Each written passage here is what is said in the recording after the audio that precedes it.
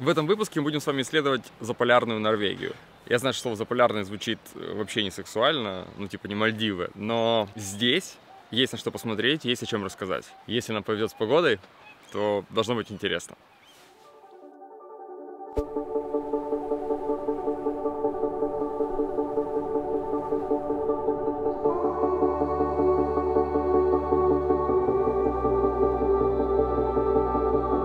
Нашу поездку по Заполярью мы начнем с одних довольно необычных островов. На самом деле, когда оказываешься здесь летом, вообще нет ощущения, что ты за полярным кругом. А окружающая природа местами очень напоминает значительно более южные широты. Эти острова все называют по-разному. Лафонтены, Лабутены. А местные говорят Люфутен, но я буду называть их э, Лафатенами по привычке, чтобы ни у кого не резало слух. Да, мы с вами приехали на Лафатенские острова. Совершенно изумительный кусок заполярной Норвегии и одно из самых инстаграмных мест в стране, которое вы уже наверняка где-то видели. Я добрался на Лафатены автомобилем, взяв паром из города Будё. В день приезда лил дождь, так что давайте скипнем этот момент и начнем сразу с утра.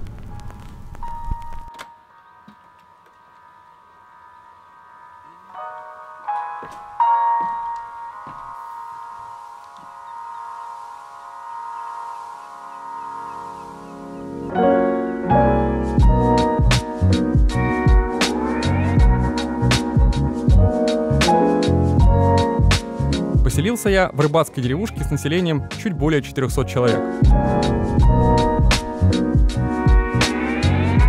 Собственно, Лафатены — это и есть рыбацкие деревушки. Этот архипелаг начал заселяться людьми во многом благодаря обилию рыбы в здешних водах. И до сих пор рыбная ловля — это главный промысел на Лафатенах.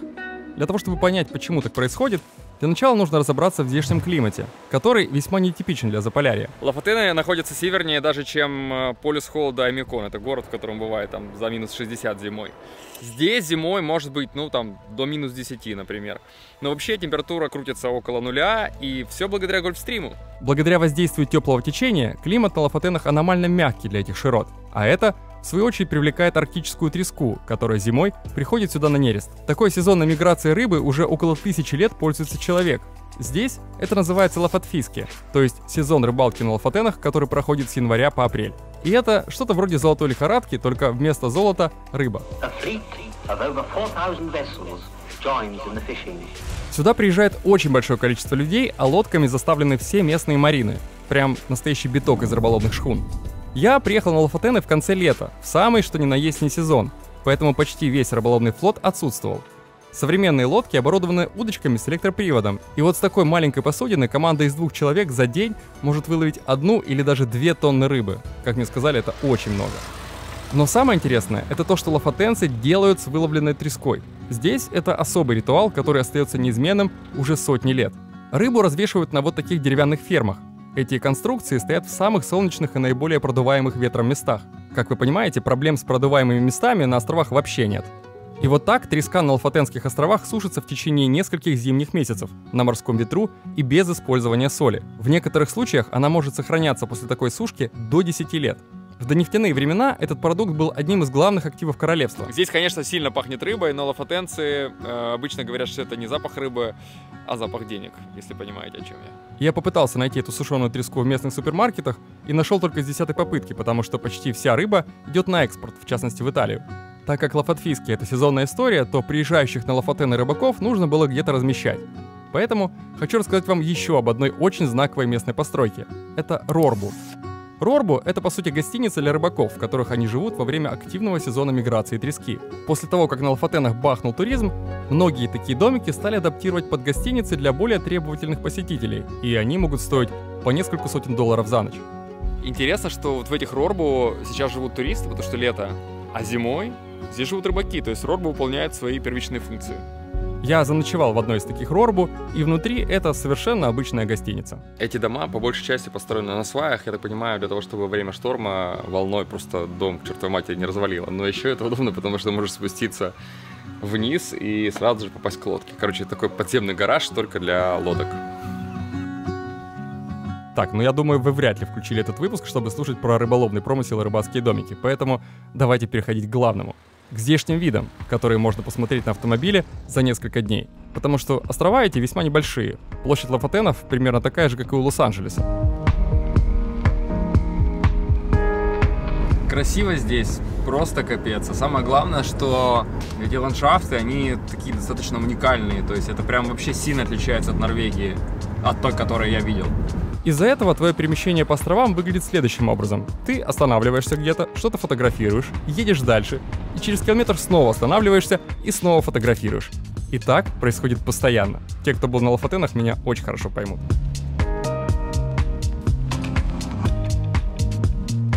Еще пару десятков лет назад про эти острова мало кто слышал, но потом, как водится, здесь стрельнул туризм, и народ попер. Приезжает сюда, кроме всего прочего, чтобы посмотреть несколько канонических рыбацких деревень. Я покажу вам три из них. Первая – это Нусфьорд, одна из самых аутентичных и хорошо сохранившихся. Сейчас в этой деревне живет всего 100 человек, а в ее честь в 2017 году даже выпустили одну довольно популярную настольную игру. Вторая деревня с самым коротким названием из всех, что я видел. Она называется О, а вот с третьей деревушкой в двух словах не разберешься. С большой долей вероятности вы ее уже много раз видели, но по кадрам с земли это понять довольно сложно. Все меняется, если посмотреть на эту деревню с воздуха. Эта деревня называется Хёниксвер. Располагается она в основном на островах Хаймоя и Хелансоя, хотя вообще островов, как вы видите, здесь значительно больше.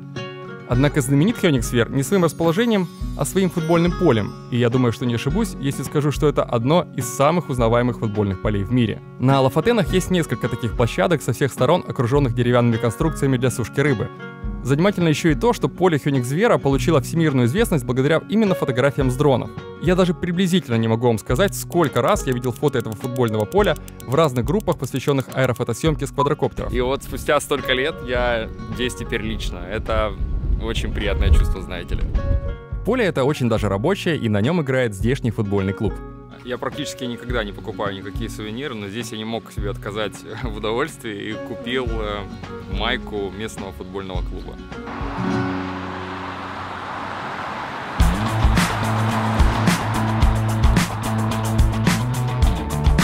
Мы продолжаем колесить по Лафатенам, и я хочу вам рассказать еще об одной щепетильной теме. Это уровень цен. Лучше всего их демонстрирует вот этот пример. Норвежский стикер стоит 18 крон, а стикер с изображением Лафатенских островов уже 49. Цены на жилье здесь еще выше, чем в Норвегии, и так очень дорогой стране. Поэтому, чтобы сэкономить, многие приезжают сюда на автодомах или на машинах с палатками на крыше. На Лафатенах я встретил практически полного двойника своей тачки. Вот это моя машина, а это автомобиль ребят, которые приехали сюда аж из Германии. Как вы помните, в Норвегии без хайков обойтись невозможно, так что берем рюкзак и отправляемся в горы. Маршрут, который я выбрал, один из самых популярных на Лафатенах. Он заканчивается на вершине вот той скалы. Здесь более полутора тысяч ступеней, и, как и многие хайки в Норвегии, этот маршрут разрабатывали непальские шерпы. Собственно, эта лестница построена ими. Как и в остальной Норвегии, люди используют этот маршрут в том числе и для ежедневных тренировок, и для прогулок со своими питомцами. Если песики смогли, значит и я смогу.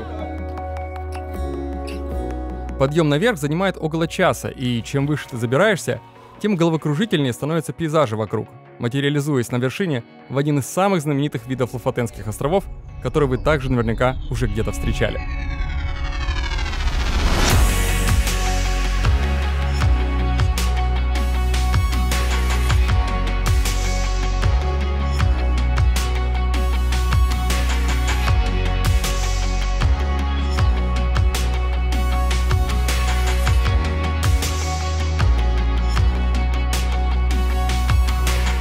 Потрясное место. Все-таки не зря карабкался. Хайк довольно несложный, панорама на вершине просто топ, так что если будете в Норвегии, это мой рекомендацион. Кстати, с вершины горы открывается вид на еще одну милейшую лафатенскую деревушку – Рейнес.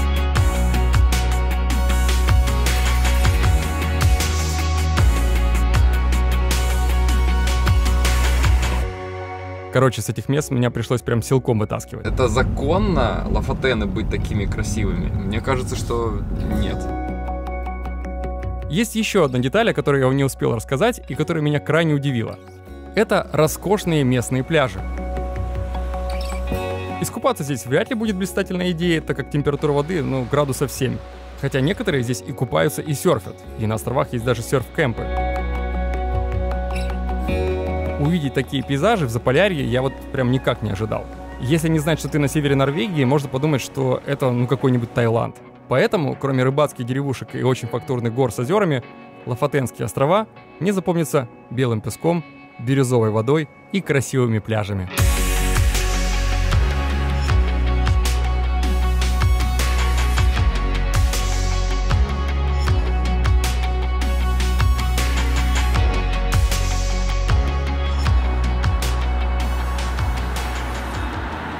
Кроме Лафатенских островов, здесь есть еще два интересных острова, которые я собираюсь посмотреть.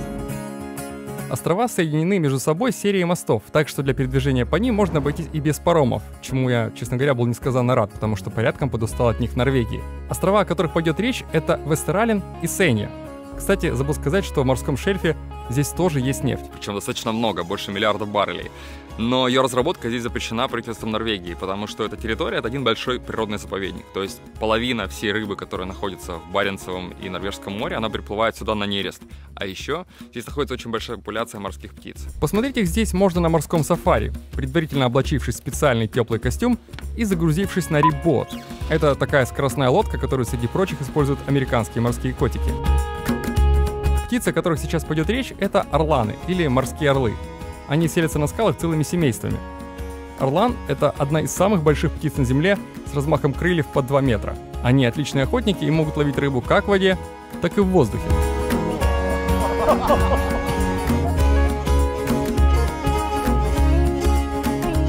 Орланы очень красивые птицы, но они настолько быстрые, что я вообще не успевал наводить камеру, так что кадров получилось мало. Сорян. Мы тем временем прибываем на первый остров – Вестерален. Здесь у меня была намечена встреча с моим знакомым, поэтому я шуренько заселился в гостиницу Фьорд Кэмп, которая, как понятно из названия, расположена на берегу местного фьорда.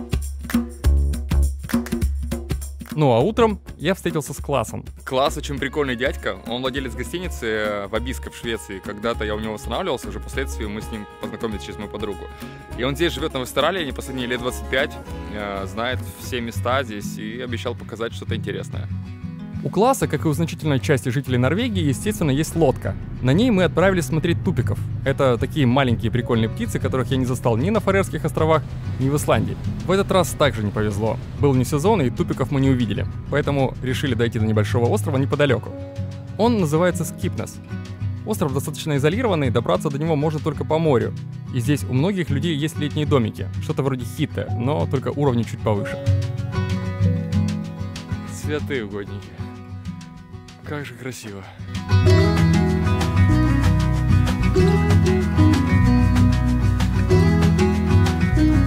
Мне было интересно узнать у класса, почему он живет здесь, в деревне за полярным кругом, а не приезжает куда-нибудь в город поближе к цивилизации. People live a really rich life here, richer than the big cities, because here you have the nature, you have the fresh seafood, you have the moose, the reindeers, and all kinds of hunting in the fall, birds.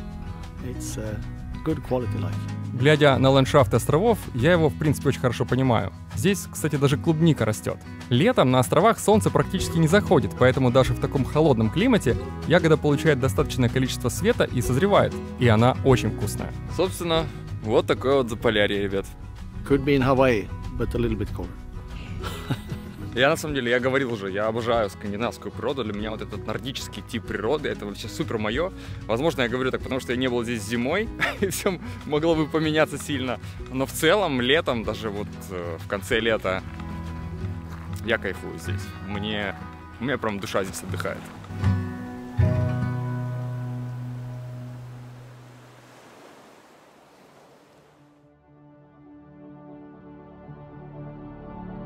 Последний остров, на который мы с вами отправляемся, это Сеня. Сюда я приехал ради одной единственной горы. Я, честно говоря, себя не очень хорошо чувствую, поэтому подниматься на вершину не намерен. Но у меня есть другой хитроумный план. План заключался в том, чтобы пройти столько, сколько смогу, а дальше поднимать в воздух дрон. Все, ребят, пора запускать чит-код.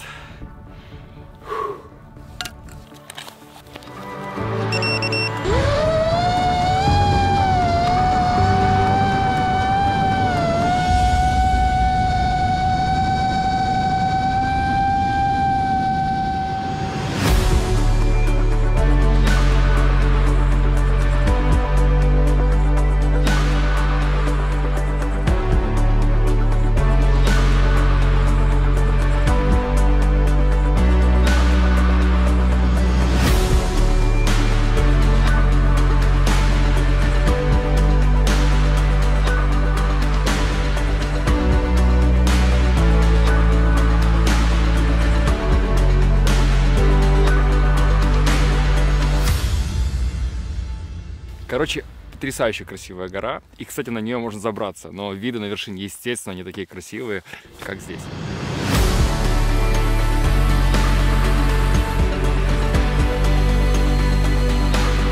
Многие попросту не доезжают на Сенью, делая выбор в пользу Лафатенов. Но мне кажется, что как минимум ради этого хайка, этой монументальной вершины, сюда стоит добраться. Вообще остров называют Норвегией в миниатюре из-за того, что его пейзажи отображают крайне многообразную норвежскую географию. Поэтому, если будете неподалеку, это мой рекомендация.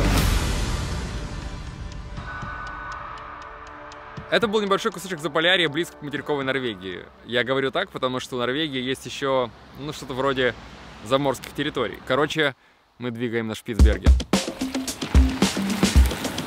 Первым делом мне нужно было вернуться в Осло, поэтому я намотал еще полторы тысячи километров, добрался до столицы, вернул машину и заселился в отель. Дальше все по стандарту. Aviasales и поиск билетов из Осло на Шпицберген. Билет туда-обратно обошелся мне в 350 долларов.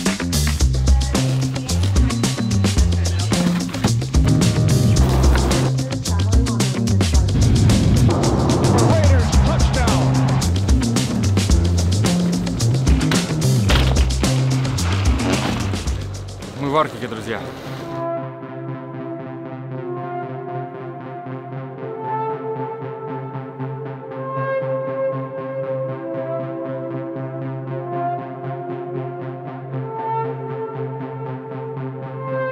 Мы с вами добрались до еще одного края Земли – архипелага Шпицберген. Это самая северная точка, в которой я когда-либо был. До Северного полюса здесь всего 1300 километров.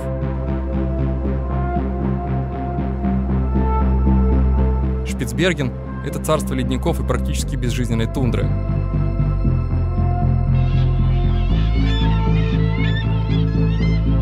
Но здесь уже в течение многих лет живут люди. Что заставляет человека селиться в таких малопригодных для жизни местах и каково это – жить в таком дальнем заполярье, мы попробуем разобраться в этой части выпуска.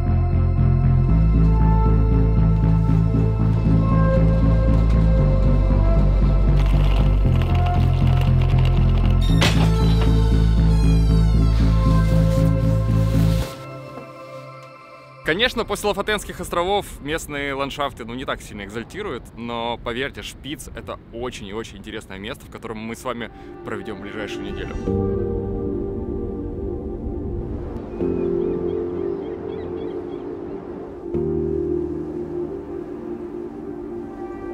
Если вы когда-нибудь попадали в место, которое можно без кавычек назвать краем Земли, то, я думаю, вы поймете мои ощущения в первые часы пребывания на Шпицбергене. Чтобы найти этот архипелаг на карте, нужно посмотреть на самый-самый ее край. Шпицберген находится посреди Северного Ледовитого океана между Гренландией и землей Франца Иосифа. Это самая доступная Арктика. Сюда можно прилететь из Осло или Трамсё регулярными рейсами, и, наверное, пожалуй, никакое другое место в этой части планеты недоступно для туризма так, как Шпицберген. Перед тем, как мы начнем выяснять, зачем сюда приезжают туристы, давайте для начала поймем, чья это земля. Вообще, Шпицберген — это довольно уникальное событие на политической карте мира. До 1920 года этот архипелаг был ничей, а потом за ним закрепили суверенитет Норвегии. Но до сих пор более 50 стран имеют право вести здесь хозяйственную деятельность и даже больше разработать природные ресурсы, в том числе Украина, Россия и даже Северная Корея. Но по факту хозяйственную деятельность на Шпицбергене ведут только два государства. Норвегия в городе Лангир и Россия в поселке Баренцбург а постоянное население архипелага составляет около 3000 человек. Дальше сложнее. Это как бы Норвегия, но при этом это безвизовая зона. То есть, когда я вылетал сюда из материковой Норвегии, мне поставили штампик, что я как бы покинул страну. Теоретически сюда можно прилететь без визы, но практически ты все равно будешь идти через Норвегию, а для того, чтобы попасть в Норвегию, тебе нужен шенген. Еще одна путаница связана с тем, что у архипелага несколько названий. Шпицберген — это то, как знаем его мы, Австрия, Германия, Голландия. Груманд — это то, как его называли поморы, которые, скорее всего, открыли Шпицберген. А для Франции, Великобритании, Америки еще достаточно большой части мира этот архипелаг называется Свальбард. Я по привычке буду называть его Шпицберген, но если вдруг вы увидите название Свальбард, не удивляйтесь. Главный город архипелага — это Лангербюен, или Лангир, как его еще здесь называют.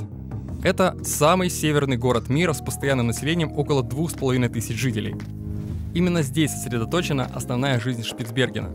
Лангир, конечно, не Майами, и выглядит он далеко не как город, в котором вы хотели бы провести рождественский уикенд, но город этот очень необычный и даже в чем-то уникальный, и требует отдельного рассказа.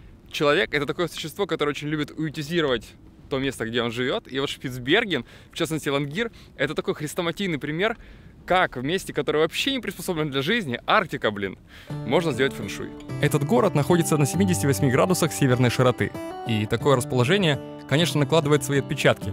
Из-за вечной мерзлоты теплотрассы здесь проложены над землей, все дома построены на сваях, которые, правда, аккуратно спрятаны, а на горе установлены лавинорезы. Лангир находится в лавиноопасной зоне, и лавины с человеческими жертвами здесь уже случались. Во всем остальном, как минимум чисто визуально, это довольно обычный город. Куча разноцветных домиков, центральный променад, самая северная в мире церковь, больница, дом культуры с библиотекой и кинотеатром, спорткомплекс, десяток гостиниц, включая даже Редисон Блю, школа и детский сад. Здесь есть даже университет, самый северный в мире, который готовит будущих глициологов и специалистов по Арктике. У них тут все необходимое оборудование, чтобы начать исследования, достаточно просто выйти из здания. И здесь, кстати, очень много студентов, которые приезжают учиться в Лангир со всего мира.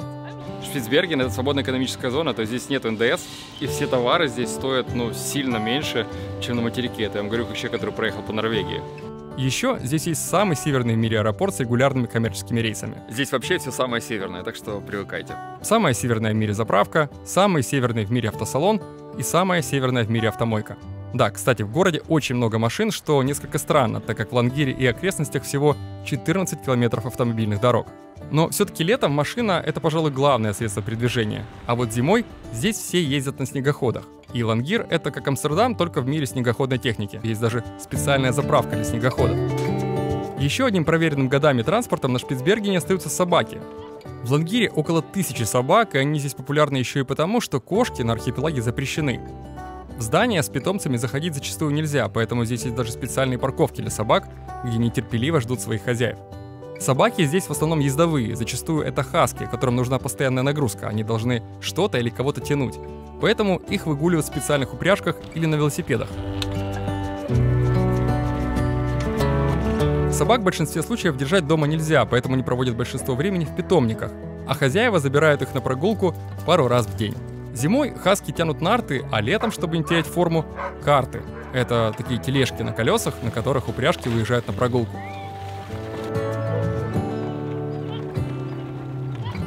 Причем это тот случай, когда всем в кайф, и тем, кто катается, и тем, кто катает.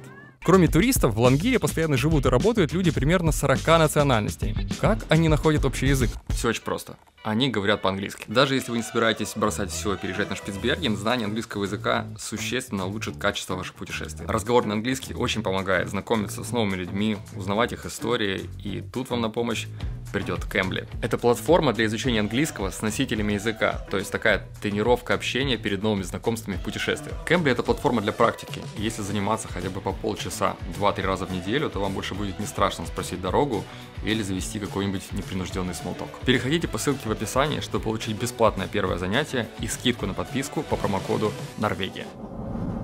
Возвращаемся в Лангир. Давайте теперь разберемся, на кой черт вообще нужно было строить город в Арктике? Ответ, как обычно, на поверхности. В данном случае на поверхности Шпицбергена, потому что это уголь. Уголь здесь залегает неглубоко, и пласты иногда видны невооруженным взглядом. Именно поэтому угледобычу в начале прошлого века здесь начали вести ряд стран, включая Норвегию и Советский Союз, шахты которого мы чуть позже посмотрим. В Лангире от шахтерского периода осталась куча артефактов, вроде заброшенных вагонеток и шахтного оборудования. Но, что еще важнее, здесь осталось несколько весьма интересных шахтерских традиций. Первое – это снимать обувь при входе в здание. Изначально это делалось для того, чтобы не заносить с собой угольную пыль. Но эта традиция так сильно здесь прижилась, что сейчас обувь снимают везде. И в гостиницах, и в университете, и даже по музею тут ходят в носках. Вторая традиция касается алкоголя. Алкоголь на Шпицбергене продают по квотам. Так исторически сложилось, потому что здесь всегда работали шахтеры, которые просто спивались в условиях полярной ночи. Талоны на алкоголь в Лангире выглядят вот так. В месяц по нему можно купить 2 литра крепкого алкоголя и 24 банки пива. Вино в разумных количествах продают без ограничений. Даже мне, как туристу, чтобы купить какой-нибудь вискарик, нужно предъявить посадочный билет на самолет. К сожалению, я его потерял, так что будем без алкоголя. Следующий пункт связан не с шахтерским прошлым, а с географическим расположением архипелага. Дело в том, что здесь нельзя рожать и нельзя быть похороненным. Здесь нет родильного дома, и матерям рекомендуется примерно за месяц улетать на материк. А похороненным быть здесь нельзя, потому что вечная мерзлота. А она известна тем, что выталкивает наружу все, что в нее закапывают. Собственно, несколько лет назад из-за таяния вечной мерзлоты на старом лангирском кладбище могилы начали подниматься из-под земли, что не окей. Что касается угля, то в Лангире сейчас работает только одна шахта, но ее через несколько лет планируют закрыть. Выгодно ли сейчас добывать здесь уголь? Нет, никогда не было практически выгодно добывать здесь уголь. Если уголь не приносит деньги, то что здесь вообще может приносить деньги? Естественно, это туризм. Туристы со всего мира прилетают на Шпицберген, чтобы посмотреть самый большой кусок нетронутой и по-настоящему дикой природы во всей Европе. Ну, вы поняли, это все-таки Норвегия, а Норвегия это Европа. Местные пейзажи, правда, могут понравиться далеко не всем, так как с растительностью на архипелаге, прямо скажем, не густо. Деревья тут совсем не растут. Зато есть некоторое количество животных. Например, шпицбергенский северный олень. Он самый маленький из подвида северных оленей. Они тут почти не боятся человека и пасутся прямо рядом с городом. Также есть лисы и песцы, но особенно много здесь птиц. Визитная карточка Шпицбергена — это крачки. Глядя на этих прикольных маленьких птичек, и в голову не придет, что они могут быть супер агрессивны и атаковать любого прохожего с напором японских летчиков-камикадзе.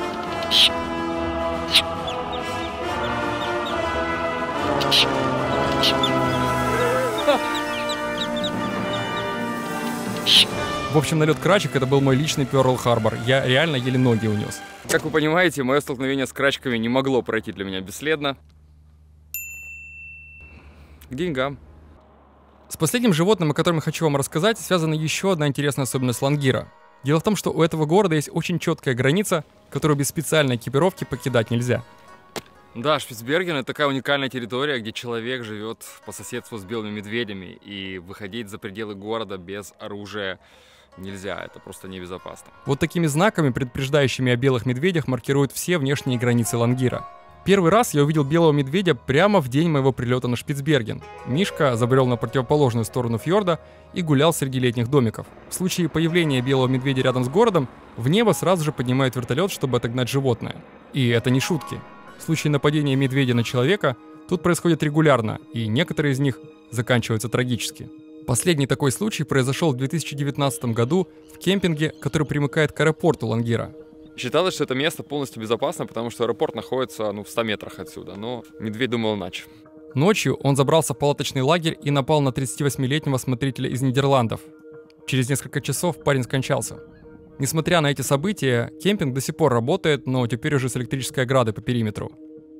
Вообще экологи говорят, что все это происходит из-за глобального потепления, и именно изменение климата побуждает медведей искать пищу там, где живет человек. А климат на Шпицберге не меняется. Вот это кусок Лангирского фьорда. Раньше он замерзал зимой.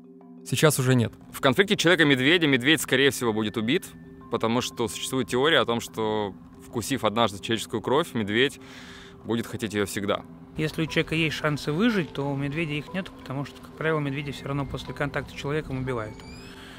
Ну, прошлый год вообще был непростой, потому что здесь, по, по не, ну, опять же, вопрос не неосторожности, а в течение обстоятельств э, двух медведей пришлось полицейским убить. Один был прямо здесь в Лангире зимой, прям по улицам ходил, и его неоднократно выгоняли. В итоге пришлось как бы его застрелить. А в втором случае э, медведя пытались увезти в корзине, то есть усыпить и увезти в корзине за пределы поселка подальше, но при этом э, передозировку сделали по снотворному. Мишка там или от стресса, или от передозировки тоже умер. Каждое убийство белого медведя на Шпицбергене тщательно расследуется.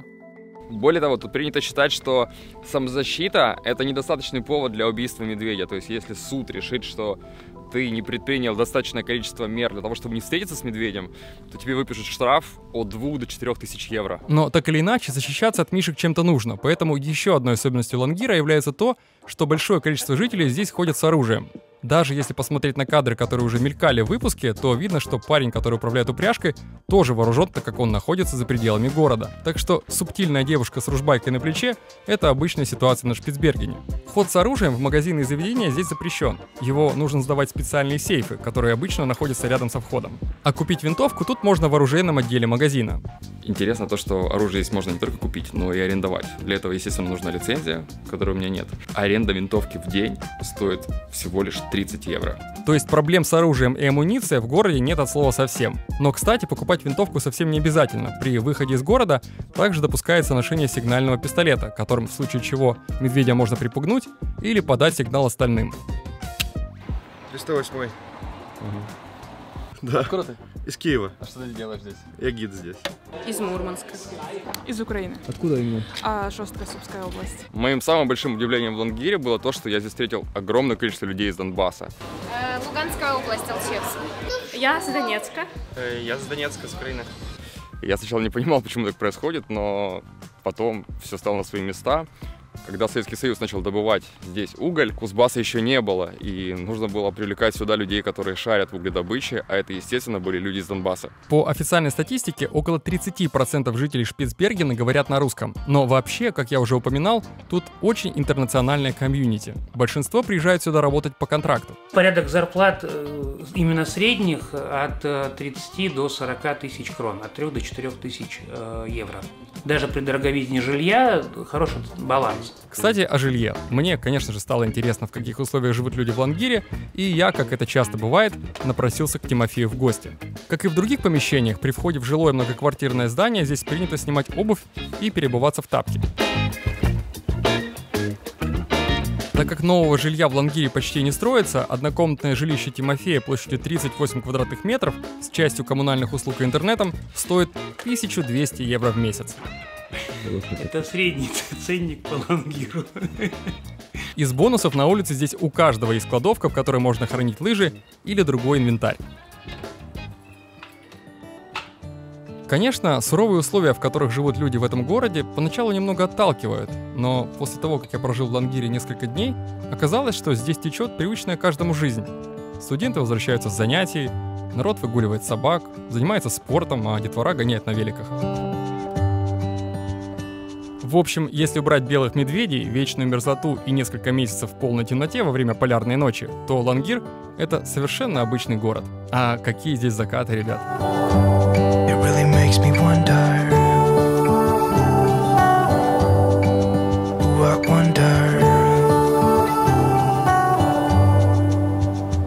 Расскажи, что у вас по отдыху? Чем вы занимаетесь в свободное время? Бассейн, тренажерный зал, спортивный зал, снегоходы, рыбалка, бары. Самое время поговорить о барах.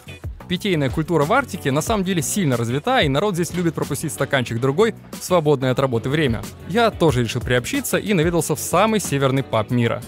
Здесь я познакомился с Ваней из Чернигова, который когда-то играл за молодежку киевского «Динамо». Детские мечты, Динамо Киев, интернат, большой футбол. Но все закончилось очень быстро с травмой колена. Правда, что время полярной ночи здесь все пьют? А, с утра спорт, вечером алкоголь. Да, да, прям вот так вот, да, это, это, это в принципе не шутки, не все, конечно, но в большинстве, да, люди прям накатывают по полной. Народ на Шпицбергене вообще очень любит закладывать заворотник, что, мне кажется, абсолютно нормально в ситуации, когда у тебя за окном 4 месяца подряд полная темень. И в крохотном Лангире я насчитал целых 5 баров.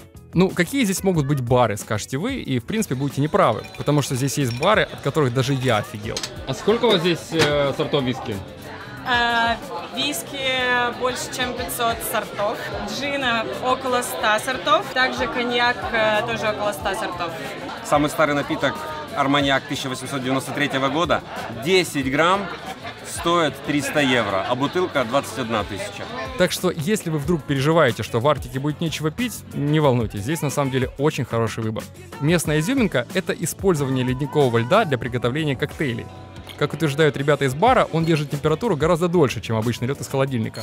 Мы проверили, все правда. Позже я познакомился с еще одним барменом, Серегой из Харькова. А люди, что за люди сюда приезжают? А, люди абсолютно разношерстные. Приехал Колин Фаррелл. Он со мной закинул. Типа, Реально, я не шучу. Он типа бухлишка не бухал. У нас в отеле тормознулся в Функине.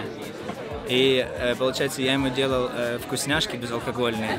А он мне там на нормально это самое подружил. Сюда приезжал к нам же в отель э, Роберт Плант из Led Zeppelin. Они давали концерт. Короче, тут публика не хуже, чем в, в Дубае. Инженеры НАСА тусуются, я общаюсь с ребятами. Очень круто. Вот сегодня уезжает, кстати, чувак. Есть еще одна вещь, о которой хочу вам рассказать. Это местное пиво.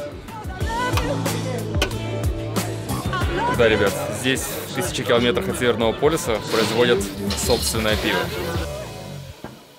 И вот об этом сейчас подробнее. В Лангире есть своя пивоварня. Здесь делают пиво, и все благодаря вот этому человеку. Его зовут Роберт Йоханссон. У мужика совершенно невероятная история. Он сначала работал фитнес-тренером, потом шахтером в местной шахте, потом морским летчиком, а потом задумал варить здесь пиво. С 1928 года на Шпицбергене действовал закон, запрещающий производство алкоголя. Чтобы поменять его, Роб в течение пяти лет каждый месяц звонил одной даме из государственного департамента. И вот через пять лет департамент сжалился, и ему разрешили варить здесь пиво. В честь этого события ребята даже продают футболки с надписью «Мы поменяли закон, чтобы делать настоящее арктическое пиво». Конечно, производство в таком удаленном уголке земного шара, который к тому же является фактически частью природного заповедника, сопряжено с целым рядом проблем. И вообще, как по мне, варить пиво в Арктике, в небольшом городе с двумя с половиной тысячами жителей, это безумная идея. Но, как вы видите, иногда даже безумные идеи, попадая в голову нужным людям, превращаются в нечто осязаемо. В нашем случае это примерно 10 сортов шпицбергенского пива, включая крепленное, которое называется автопилот, с шахтерской фотографией Роба на этикетке. В общем, классная пивоварня, совершенно потрясающая история. Если будете на Шпицбергене, то обязательно попробуйте это пиво или придите сюда на завод, сюда водят экскурсии, и можно будет продегустировать прямо на месте. На улице полдвенадцатого ночи, а все это выглядит примерно вот так. На следующий день, чтобы посмотреть окрестности Лангира, я взял машину. Даже если у тебя нет оружия, выезжать на автомобиле за пределы города разрешается. Главное, от него далеко не отходить. Медведи все-таки. Тимофей очень любезно предоставил мне свой автомобиль для передвижения по Лангиру. Но самое интересное это то, как он мне его передал. Ключи в бардачке. Ты серьезно? Да, я абсолютно серьезно. Ты не закрываешь машину? Здесь никто не закрывает машину. Почему? Здесь никто не закрывает машину. Ну, считается вообще, что раньше воровства не было абсолютно вообще. Сейчас воровства такого открытого тоже нет. Просто кто-нибудь пьяный бухой может взять твою машину покататься периодически из туристов, но ничего не украсть. Я решил проверить то, о чем говорил мне Тимофей, и подошел к трем рандомным машинам, которые были запаркованы неподалеку. Две из них оказались открыты. Правда, что не закрывают э, здесь квартиры? Я никогда здесь не закрывал квартиры, э, когда я даже уезжал в отпуск. У меня даже машина всегда открыта стоит. А что ты сделаешь с тем же самым телевизором, например, который ты вынесешь из квартиры? Что, куда ты его увезешь? Ты пройдешь через меня в любом случае, так я занимаюсь логистикой.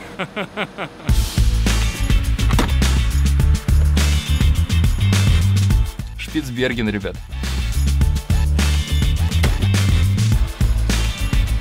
И раз уж пошла такая пьянка, я, естественно, решил заехать на самую северную заправку мира. Кстати, бензин здесь дешевле, чем в Норвегии, почти в два раза. Основной целью поездки было известнейшее сооружение, которое находится в окрестностях Лангира.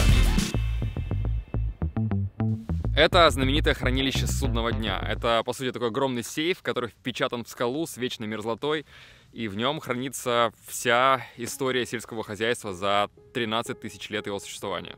За этими дверями на глубине 130 метров содержится около 1 миллиона семян. И Шпицберген для этого подходит как нельзя лучше. Во-первых, здесь вечная мерзлота, всегда холодно, а во-вторых, это место отдалено от остального мира. И в случае какой-нибудь апокалиптической угрозы, катастрофы, либо вообще, в принципе, каких-то локальных проблем, все семена здесь будут в безопасности. В связи с этим хотелось бы поговорить о такой теме, как экология архипелага. Любая страна, которая добывала бы уголь на территории Шпицбергена, плевала бы на экологию. Ну, потому что, come on, мы на краю света, ну какая экология? Но не забывайте, что мы с вами находимся на территории Норвегии, а Норвегия супер заморочена на теме сохранения окружающей среды. Здесь, например, запрещено рассекать на квадроциклах по тундре, запрещены туристические и пассажирские перевозки на вертолетах, зато появились гибридные паромы, которые частично работают на электротяге, а на местной ТЭЦ поставили суперфильтры последнего поколения, чтобы минимизировать выбросы. Я родом из Донбасса, я знаю, какой дым должен валить из угольной ТЭЦ, и мне супер странно видеть, например, вот это. В общем, королевство изо всех сил пытается сократить влияние человека на этот уголок дикой природы в Арктике. И я не помню, говорил вам или нет, но когда выходит солнце, здесь бывает очень красиво.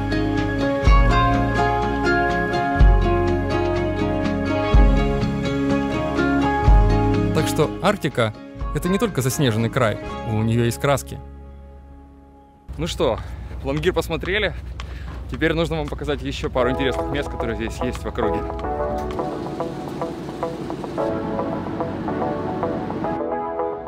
Мы с Иваном загрузились на прогулочное судно Polar Girl. В этот день оно направлялось к известному Шпицбергенскому леднику. На этом судне есть одна интересная деталь. Это доска, на которой написано, какую живность и сколько раз они встречали в этом сезоне. Здесь, конечно, глаза разбегаются, но нас в данном случае интересует самый главный показатель. Как бы вроде бы шансы хорошие.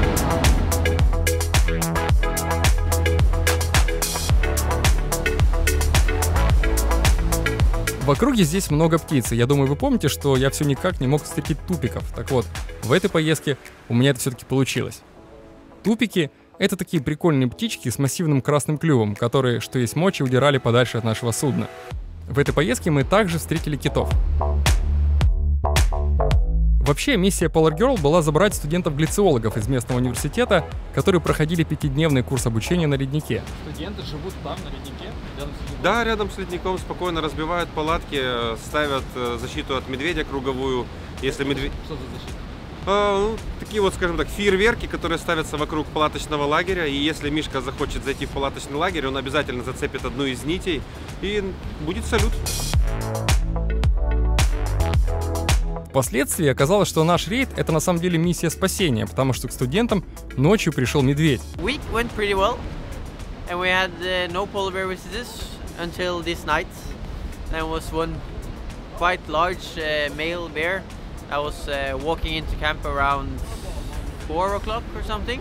Tried to scare it off, but it wasn't so easy to scare off. So um, we have been up since four, trying to scare off a bear, and then uh, using quite a lot of this uh, scaring ammunition that we use. So we uh, almost used them up. Ребят мы подобрали, и наличие медведей здесь тоже подтвердилось. Мы даже видели их издалека. Осталось только к ним поближе подобраться.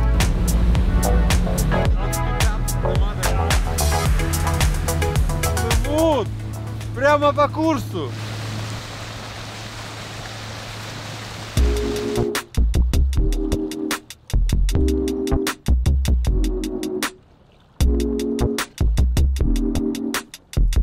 По норвежским правилам к медведю нельзя приближаться ближе, чем на 300 метров, и нельзя перерезать ему курс. Поэтому мы держались на почтительном расстоянии, но мамаша все равно постоянно озиралась и уводила своих бурундуков подальше от потенциальной опасности. Мы провели на этом месте несколько минут и стали возвращаться, а вся эта группа пловцов направилась обратно к леднику. Тащи, братан.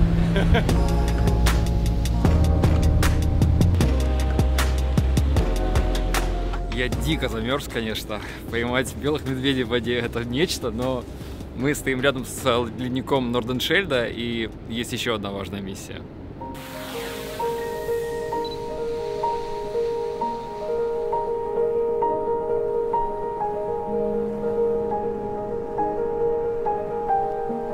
Я видел несколько ледников в своей жизни, и это, пожалуй, один из самых больших. Он простирается вглубь острова на целых 25 километров. Ледник это не просто гора льда, это еще и дом для многих животных, в том числе и для белых медведей, которые здесь охотятся. И таяние ледников, кроме повышения уровня океана, хранит себе еще одну угрозу. Многие виды, которые живут здесь, могут вскоре исчезнуть вместе со своей средой обитания.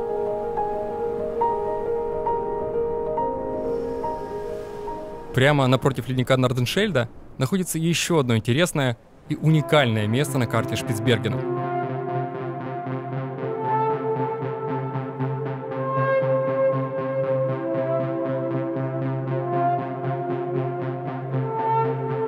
Этот поселок называется Пирамида, и, возможно, это один из самых известных городов-призраков в мире, получивший свое название из-за вершины горы, у подножия которой расположен.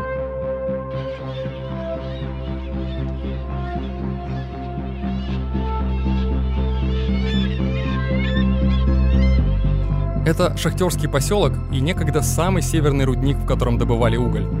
Но что еще важнее, пирамида — это бывший советский населенный пункт, и, возможно, это единственное место на планете, где социализм реально существовал какое-то время.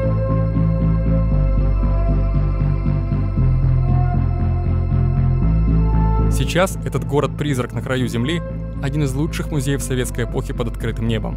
На самом деле пирамида это уже давно не город-призрак, здесь постоянно живут люди, но давайте обо всем по порядку.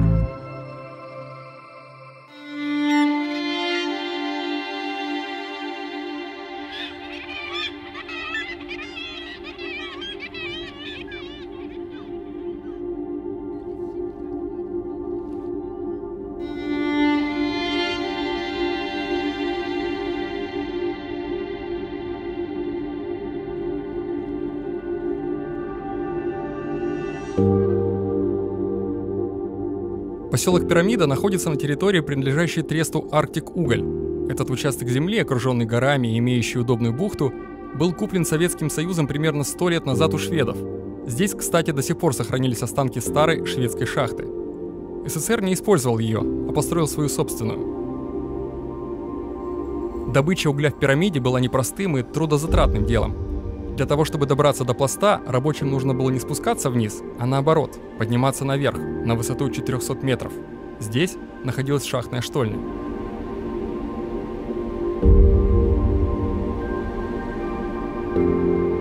Угля здесь добывали сравнительно немного, около 235 тысяч тонн в год, и добыча, даже в лучшие годы, не была экономически выгодной. В конце 90-х шахту решают закрыть. В 98 году людей отсюда полностью вывозят, а поселок консервируют.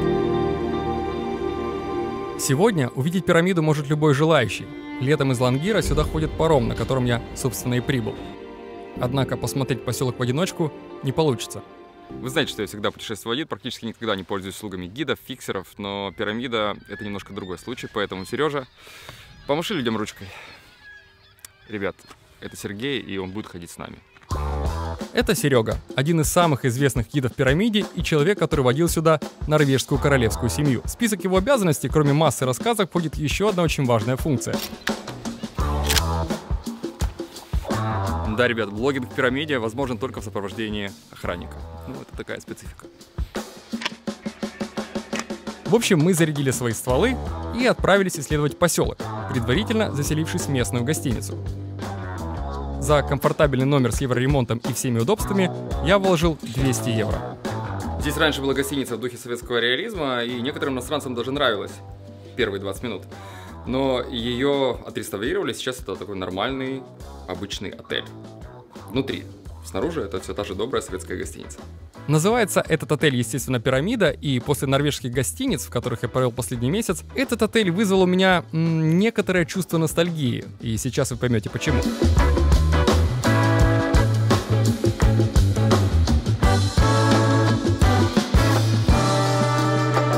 Гостинице есть неплохой бар, в котором заседали иностранные туристы, и ресторан, в котором мы с Серегой влупили по борщу. И он оказался очень даже.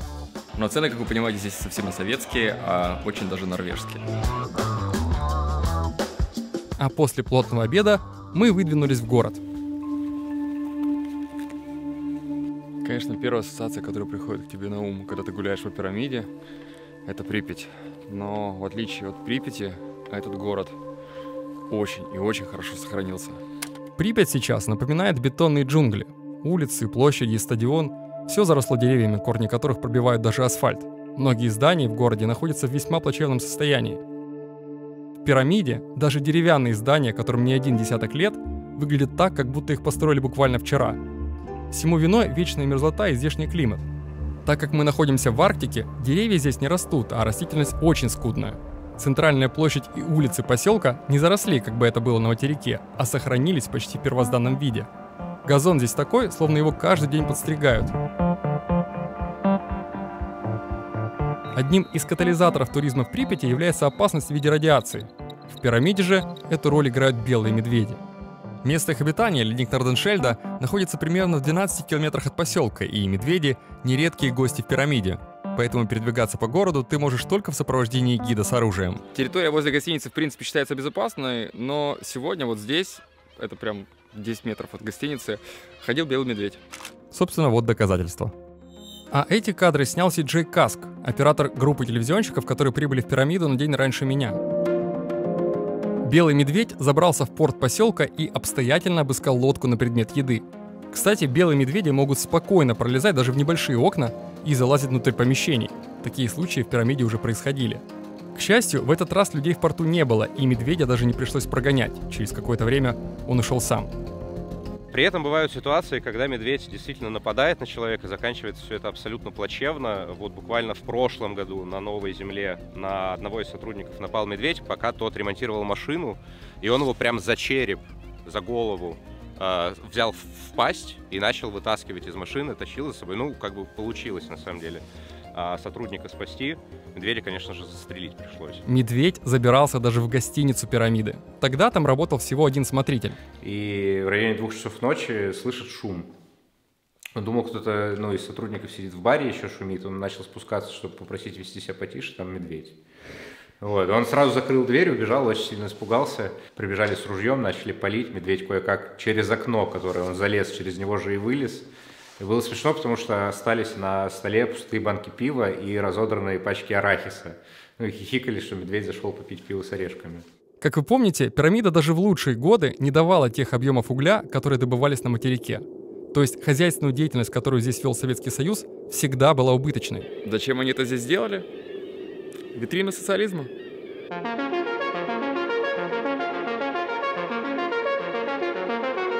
Этот поселок в Арктике был призван показать всему миру мощь социализма. И он, естественно, был образцово-показательным. Здесь было почти все, чтобы люди, которые работали на краю земли, чувствовали себя как дома. В пирамиде построили концертный зал, кинотеатр, бассейн, спорткомплекс. Здесь был даже небольшой аэродром. Бани проектировал итальянский архитектор. Крыша над бассейном сделана из не самых плохих сортов древесины, а деревья, как вы помните, здесь не растут, то есть все это доставлялось из материка. И вообще отделка помещений тут сделана с лоском. Питание в местной столовой было бесплатным, круглосуточным и осуществлялось по системе шведского стола, то есть ты мог брать столько еды, сколько хочешь. Для Советского Союза того времени это было что-то из области фантастики. Все хотели попасть в пирамиду. Зарплаты здесь были в целом в два раза выше, чем на материке. То есть за двухлетний контракт человек мог привезти 20 тысяч рублей, что могло хватить на квартиру, машину и, может быть, даже на дачу. У жителей пирамиды было значительно больше свободы, чем у советских граждан на материке. И в полной мере начинаешь это осознавать, когда вместе с гидом заходишь внутрь зданий.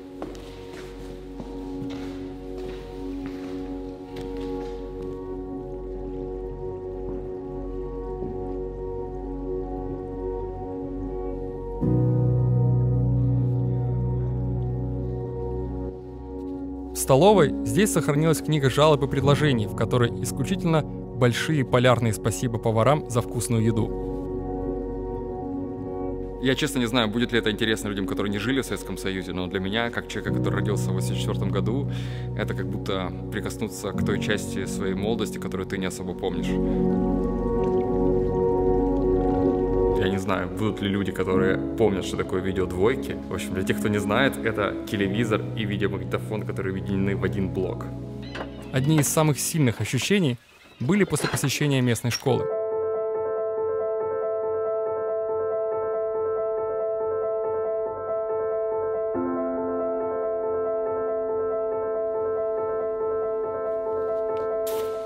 У меня был точно такой же учебник.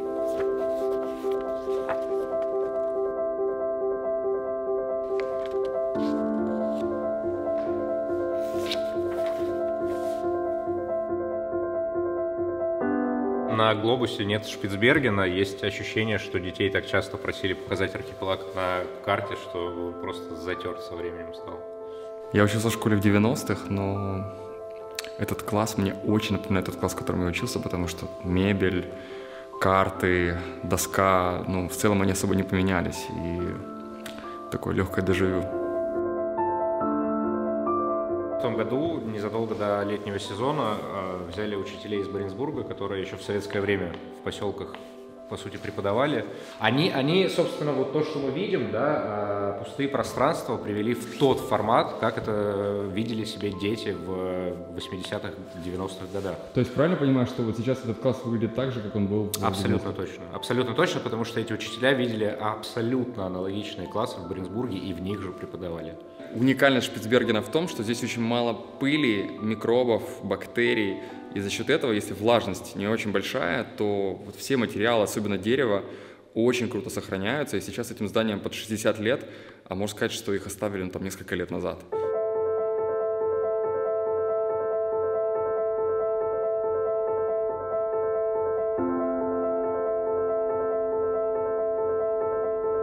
Очень яркое впечатление оставляет вот это панно. Ты сначала не понимаешь, из чего оно сделано, но стоит подойти поближе, как все становится на свои места.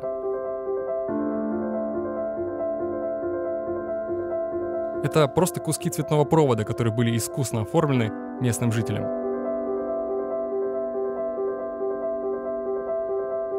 Кроме бассейна, здесь есть еще спорткомплекс, в котором кроме спортивных состязаний проводили еще и свадьбы. Однажды Серега привел сюда с экскурсией норвежскую королевскую семью. И часть королевской семьи, которая присутствовала, говорят, слушай, а что вообще вот люди приходят, им интересно здесь, неинтересно? Я говорю, ну как же неинтересно? Приходят, да, обычно, если вот друзьями особенно приехали, вид, мечи лежат, начинают в футбол играть. Она говорит, да. Ну и они, короче, всей этой своей королевской читой как начали играть в футбол. Задорно играли, причем минут 10. Изюминкой пирамиды является местное фильмохранилище, в котором содержится более 600 фильмов. Лера, которая работала здесь, рассказала, что в коллекции пирамиды есть даже киноленты, которые были утеряны на Большой Земле. Здесь же они в полной безопасности, и благодаря холодному климату и отсутствию бактерий смогут храниться еще долгие годы. Вот эта штука, это 10 минут. Ну, 10-15. Вот это 10 минут. Да, 10-15. Вот видишь, тут написано 15 частей фильма. То есть вот в этом фильме 15 таких роллов.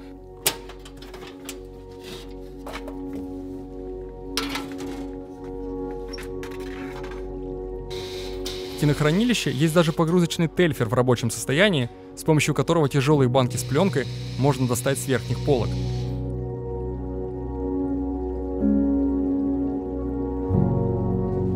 Здесь в коллекции есть, например, фильм «В джазе только девушки». И что интересно, здесь версия без цензуры, то есть там есть постельные сцены, что для совка это супер необычно. Такого на самом деле в Союзе не было.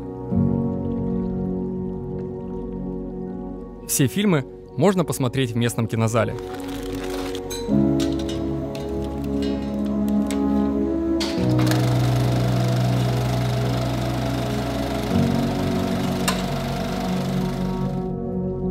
Мы заглянули также в несколько комнат в пирамидском общежитии. Однажды Серега водил сюда группу шведских дизайнеров, которые готовили новый каталог обоев. И им было ну, действительно важно отсмотреть все обои. Они считали, что паттерны очень интересные. И пять часов мы проходили все комнаты в этом здании, они отсняли каждый обои, они действительно разные. Но вообще пирамида — это не только архитектура. Это в первую очередь история человеческих судеб. И здесь они на каждом шагу.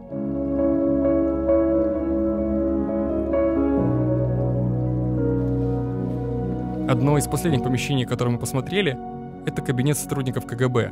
Здесь решетки на окнах, огромные бронедвери и печка для сжигания секретных документов. В этом кабинете я смог посмотреть личные дела людей, которые работали в пирамиде.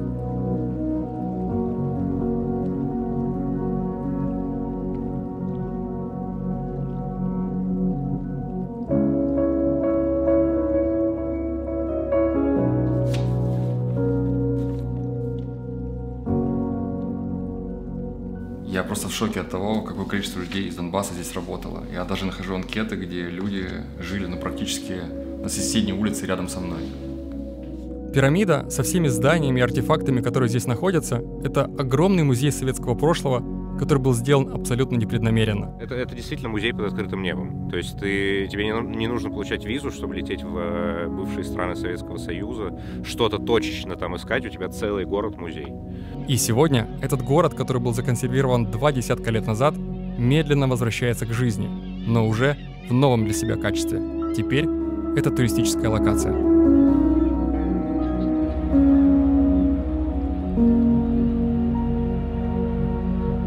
Всем, что здесь происходило, я вижу очень большую иронию судьбы, потому что в 70-х годах советских людей на архипелаге работало ну, две с половиной тысячи, а норвежцев тогда было человек 500. И Норвегия была очень бедной и с открытыми глазами смотрела на то, что здесь Советский Союз делает.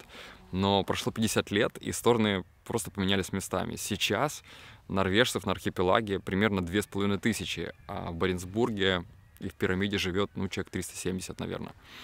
В общем, для меня Лангир, наверное, это то, что тогда, в 70-х годах, это было для норвежцев приехать и увидеть пирамиду. История, как обычно, движется по спирали.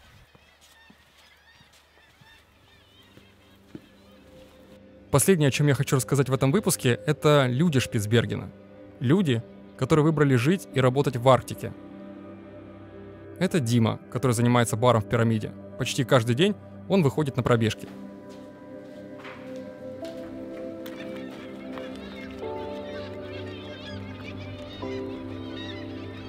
Как ты бегаешь здесь, здесь медведя? Я бегаю с ракетницы по определенному маршруту, который выстроен был годами. Я приехал первый раз в расчете на то, что может быть какой-то короткий промежуток времени, отпусть- ну, оттусуюсь здесь, заработаю что-то, вернусь к семье на Украину. Но в силу того, что здесь очень круто, реально очень круто, очень круто. Ну, в смысле, без кавычек и без каких-то там знаков дополнительных. Действительно, место нереальное, но не для всех. То есть сюда приезжают люди, которые как бы хотят э, какого-то эскапизма. Слушай, те люди, которые здесь живут, да. Жизнь на Шпицбергене это, безусловно, в какой-то степени эскапизм. Но что меня удивило, люди отсюда не то чтобы уезжают, они наоборот здесь остаются. Здесь максимально много удовольствия получаю от жизни. И не планирую уезжать в ближайшие годы. Да ладно. Ну, у меня был контракт на 6 месяцев изначально, но я поняла уже через два, что хочу продлиться. Вот, и вот уже 17 месяцев безвыездно тусуюсь на этом чудесном острове и планирую, как уже сказала, столько же, если не больше. Сколько ты здесь уже? Э, В сумме за полтора года. Тут же бесплатное образование для ребенка, это нереальная мотивация. У меня ну, дочка учится в местной школе, и это очень... а- Они, у них... при- Вот в чем круто, в чем круто. И, ну, у меня как бы жизнь уже для, для семьи по большей части. У них э, второй школьный день, у них поход на плато с учителями, совсем они едут.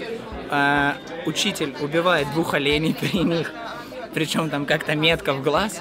Они их разделывают, жарят на кастрике, у них все при этом все, ну, естественно, на уровне ну, цивилизованном, очень круто.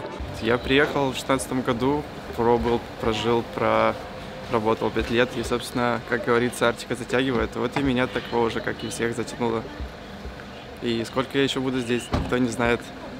Я сам не знаю. Почему? А это не... Это, это... Вот, посмотри вокруг. Я не знаю, почему.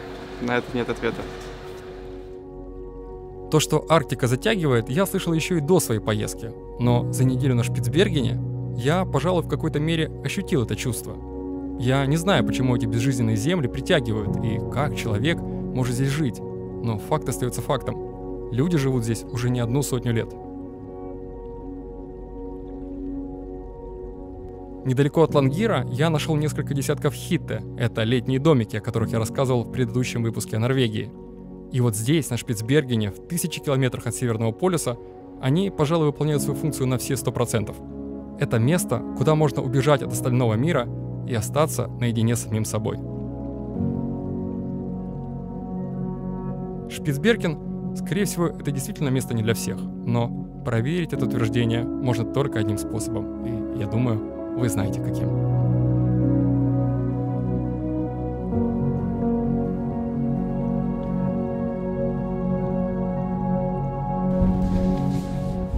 Скажу вам честно, для меня слово «заполярье», оно изначально имело какой-то такой легкий депрессивный оттенок, но вот стоило мне побывать в норвежском Заполярье, и я понял, насколько сильно я ошибался.